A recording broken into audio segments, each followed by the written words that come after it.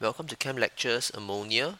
We'll be running through the notes today itself. There's no there, there are no lesson slides for this one because this is a pretty straightforward topic where most of the content involves direct recall and simple mole concept calculations. So before we begin, right, where where do you think you will first actually encounter ammonia in your life? It's probably not in the laboratories. It will be probably it will pro- probably be in the window cleaners. If you were to go home and find the window cleaning solution and open the bottle and smell, right, the a large part of the smell actually comes from ammonia. Ammonia is mixed into the window cleaner to allow it to clean your your glass panels, your glass surfaces into into a real real really nice shine. And the next most actually the most important use of use of ammonia. In fact it's actually to use to make fertilizers. And as you know we all need to eat. The plants need to grow. How do you ensure that there's enough plants growing to produce food for everyone in the world? You must top it up top up their, their growth their growth food with fertilizers. And fertilizers a large part of it contains ammonia. Why? Because ammonia formula is NH3 N is nitrogen and nitrogen is required for plant growth. N is actually required for protein synthesis in the plants. Right, so let's move through the notes of ammonia. This will be a pretty fast lesson because there's not much content actually. Right, before we begin to introduce the reaction in which by which ammonia is made, first of all we need to understand one concept called reversible reactions. All along we have always been doing reactions which involve arrows going in one direction. This is called a this is called an irreversible reaction. It means product A and product B will become C and D and this is one way. There's no way C and D can become A and B again. So this is a this is an irreversible reaction. But for reversible reactions such as the one in which ammonia is synthesized with N2 plus H2 gives you NH3. There's both a forward reaction which is from the, the reactants to the products. And there is also a backward reaction which is from the products to the reactants. So both reactions actually progressing at the same time. So how much product we actually get depends on how fast is the forward reaction. So if my forward reaction produces more product, then the product can break down into the reactants. It means that the yield of the reaction is really high. Okay? So importantly, both take place at the same time. And because of this, they do not go to completion. I cannot say that all my N2 and all my hydrogen will react to give me ammonia only, full stop. Because when ammonia is formed, instantly the backward reaction begins. And ammonia begins to break down back into nitrogen and hydrogen. So this is forward, this is backwards. Once the forward begins, once there's product, the backwards begins. So as a result, the reaction does not go to completion. But there is this term here where we use called equilibrium. This part is not in the O level syllabus, but I'll just quickly cover this. So equilibrium is basically the basically the, the point in time, right, when the forward reaction is proceeding as fast as the backward reaction, such that whenever I form two ammonia, two ammonia breaks down back into the products. So there will come this moment in time when the both the forward and backward reactions proceed at the same at, at the same rate. So at this point in time, right, because I form as much product as my product breaks down back into my reactants, it means that overall there's no change. There's no change, right? So, one unique thing about a reversible reaction is that it can actually be affected by various conditions such as temperature, pressure, and catalyst. Later we'll touch more about this one. So now let's move on to the reaction which is used to make ammonia. Haber process. This was discovered by a guy called Haber Fritz very long ago, World War, I think it's World War One, where they used this to make ammonia to make bombs. Ah, it's actually a very simple reaction. N2H2 together with high pressure, high temperature, and an iron catalyst, giving us ammonia. Okay, so where do we get the N2 from? You would remember that actually air contains about 70% nitrogen so we can easily obtain nitrogen from the fractional distillation of liquefied air. For hydrogen, hydrogen, this is actually obtained via steam reforming or the cracking of crude oil. Okay, so this is the reaction for steam reforming here. It's quite a straightforward reaction. Nothing in particular. Start with methane with water gives this steam, gives me carbon monoxide and hydrogen. High temperature, nickel catalyst. Straightforward. So to sum it all up, this is how you would write the chemical equation for the Haber process. Take note, reversible arrow. Please do not write a single direction arrow.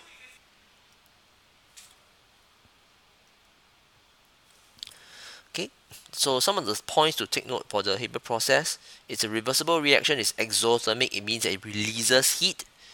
So if I write a delta H value, it would be negative or less than zero. If you recall, remember this means that the products are of a lower energy level than the reactants. Okay, that's why it is an exothermic reaction. High temperature, high pressure, but, but, but, even though at high temperature, high pressure with a catalyst, only about 10 to 15% of the reactants is converted into ammonia. So this is actually not a, a very efficient reaction, but nonetheless, it is still the best reaction by which to make ammonia with. Some of the conditions for the Haber process can be affected, can, can, be, can, be, can be changed to, to affect the yield of the reaction. And you will recall that earlier when we wrote the equation, the conditions would be 250 atm or atmospheres of pressure and 450 degrees Celsius. So why do we choose these two values, these two values of 250 and 450 degrees Celsius? Simply because if you realize this is actually a gas, this is a gas and this is also a gas. So for gaseous reactants, for gaseous reactants, if I increase pressure, I will tend to increase the yield of the reaction. Right? Favors the forward reaction. Why? Imagine this. If I have this container here where I have my particles here, 1N2 and 3H2, if I were to increase the pressure, I actually bring them closer together. So it means that there's actually a higher tendency for them to react. Right? Which means that if there's a higher tendency for them to react, it means that overall the forward reaction will be faster. So as a result, my yield increases. Okay, my yield increases. But why do we not increase this to let's say 1000 atm? Is because to increase pressure, the, the container used to, to, to hold these gases must be very very well made, very strong, thick walls. But you realize that as, as you make a container stronger and thicker, the cost also increases. So as a result, it comes to a compromise of 250 atmospheres of pressure. So why 450 degrees Celsius is because the lower the temperature, the higher the yield. If we check this graph out here, the lower the temperature, as I go up, as my temperature decreases, the yield actually increases. So if I fix 300 atmospheres pressure, as my temperature decreases, theoretically the U actually increases. Right? But but you will realize that as as as, as a chemical reaction, the lower the temperature, the slower it is because it cannot even start the reaction. Not enough energy is provided to overcome activation energy to begin the reaction. So if we use too low a temperature, the forward reaction actually reduces in speed.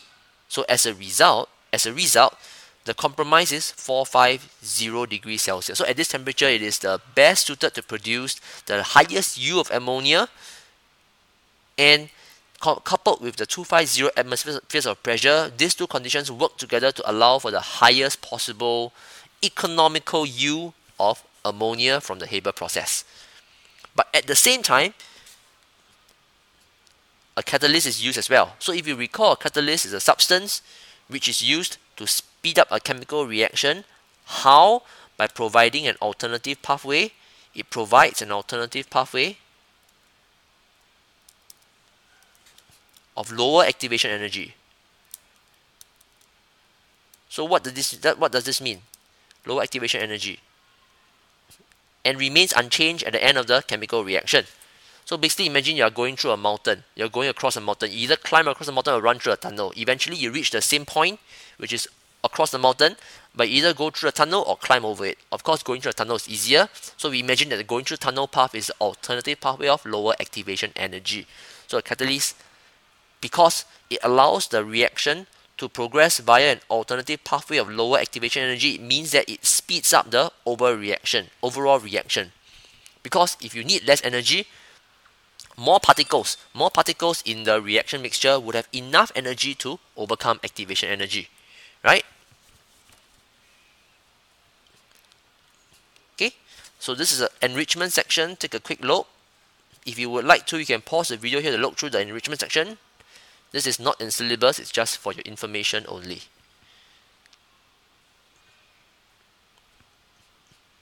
Right, so let's do a quick summary. I need my N2 and I need my H2. My N2 comes from air, my H2 comes from steam reforming. Gives me my hydrogen, my nitrogen. These two gases come together at 250 ATM, 450 degrees Celsius, iron catalyst, and it gives me my ammonia. Okay, ammonia is condensed out at minus 34 degrees Celsius. The yield, if you remember, is about 10 to 15%, which means that a large part of these two reactants is unused. So by condensing out the ammonia at minus 34 degrees Celsius, N2 and H2 actually remains as a gas. So this gas can be recycled back into the Haber process to produce more ammonia. Okay, so that was the industry, the, the industrial way of producing ammonia. In the lab, if you were to like to produce some ammonia, there are some simple ways. You can react an ammonium compound with a hydroxide. You will have ammonia gas evolve. Ammonium compound with hydroxide, you will get ammonium ammonia gas involved. And because these two reactions involve the production of water as well, the ammonia gas will be a bit wet. So how do you dry it? We dry it with calcium oxide. Why do we use calcium oxide? Because this is a base metal oxides are bases, so they are alkaline bases, which means that they will not react with the alkaline gas. Right? So as you can see here, the calcium oxide will remove the water. Okay, we cannot use conc sulfuric acid because it will be an acid-base reaction, and I will it, basically I will have no ammonia left at the end of the day. Right? Overall ionic equation, please take note if you are unsure of how to write an ionic equation, please refer to the misconception videos or writing ionic equations. This is a very important equation to write. Ammonium plus hydroxide gives me ammonia and water. If state symbols are required, this will be AQ, this is AQ, this will be gas, and this will be liquid. Okay, please write them on the right side here of the ion. And ammonia having a lower density than air can be collected by upward delivery. We never collect ammonia through water. So we never do this. We never bubble it through water. Okay, we never do this method of collection because this will not happen. Why? Because ammonia is highly soluble in water. So if I, if I were to bubble this through water, I will not get any gas collected at all. So as earlier mentioned, Ammonia is largely used for the manufacture of fertilizers. Why? Because it provides the nitrogen component for the protein synthesis in plants. But other than nitrogen, of course, plants plants require other minerals, and we call this simply NPK: nitrogen, phosphorus, and potassium. Okay, this sometimes appears in MCQ, so please take note. And now we move on to the checkpoint. Simple reaction H2N2 gives me ammonia, you would know, and there's iron wool here, basically serves as a catalyst. So what is the purpose of the iron wool? This is the catalyst. It's a catalyst to allow you to speed up the chemical reaction. It's a catalyst to speed up the chemical reaction.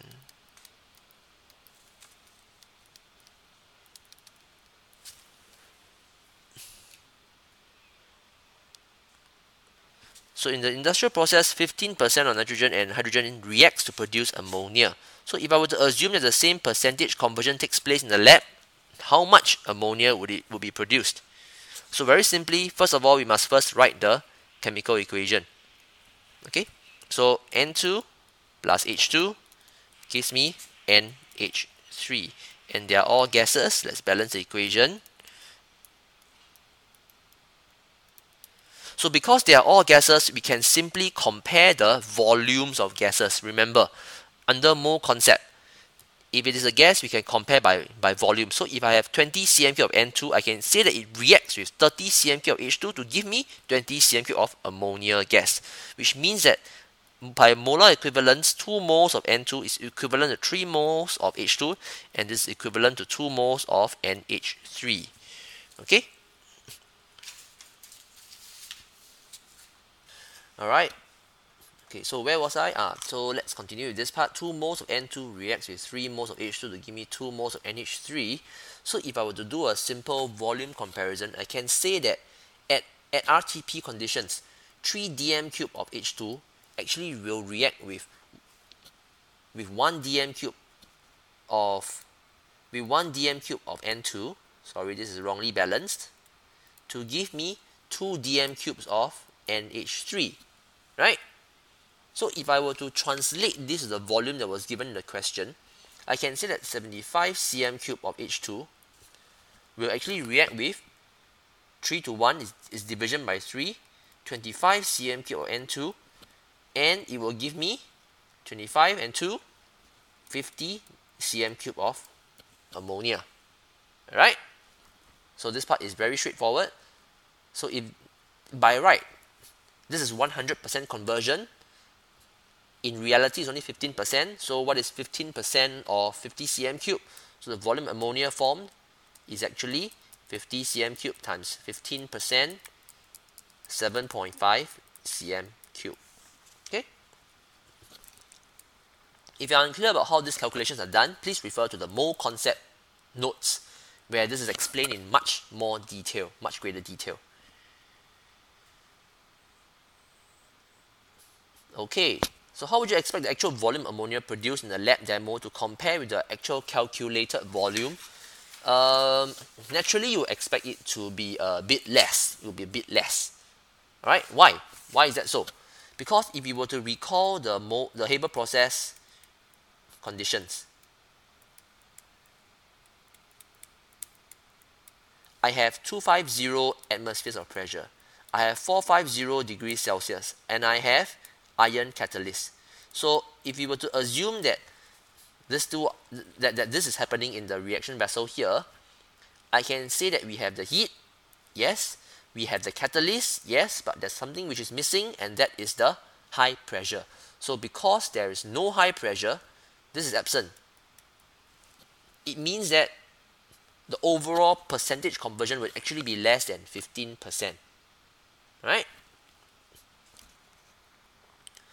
Okay, so in another experiment, 40 cm cube ammonia gas was collected in a syringe. This syringe was joined to a second tube that was empty. The tube contains an iron catalyst was heated. Gas passed several times from syringe to syringe. So what happens? So imagine this. If you if you read this question and you are stuck, what do you do? Very simple. Just draw a picture. So the first syringe contains 40 cm cube of ammonia gas. You join it to another syringe, which is empty, nothing inside the tube contains iron catalyst. So remember, the Haber process is a reversible reaction. So if my ammonia can be formed from N2 and H2, similarly because the backward reaction can proceed, my ammonia can also break down into N2 and H2. Correct? So what happens to the gas when it's passed across the catalyst? It decomposes to give N2 and H2. So write an equation to show this reaction. It's simply the reverse reaction. 2 ammonia gives me N2 plus H2. Three of this. Gas, gas, and gas. Alright, when the apparatus was cooled to room temperature, some students thought that the total volume, volume of gas present would be 80 cm cube. So why did they think so? Why did they think that it would be 80 cm cube? So very simply, if this was 40 cm cube, okay, how many volumes of N2 would be, would be produced? 2 and 1. So 2 to become 1, I must divide by 2. I would produce 20 cm cube. And for this one, I would produce how many cm cube? 40 cm cube.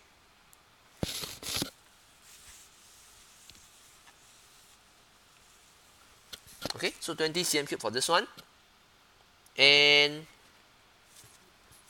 20, 40 divided by 2 times 3 is 60 cm cube sorry not 40 cm cube so if this is 40 cm cube I will get 20 of this and 60 of this so so maybe the student assume that this total 80 cm cube will be produced when all the ammonia is broken down into N2 and H2 okay?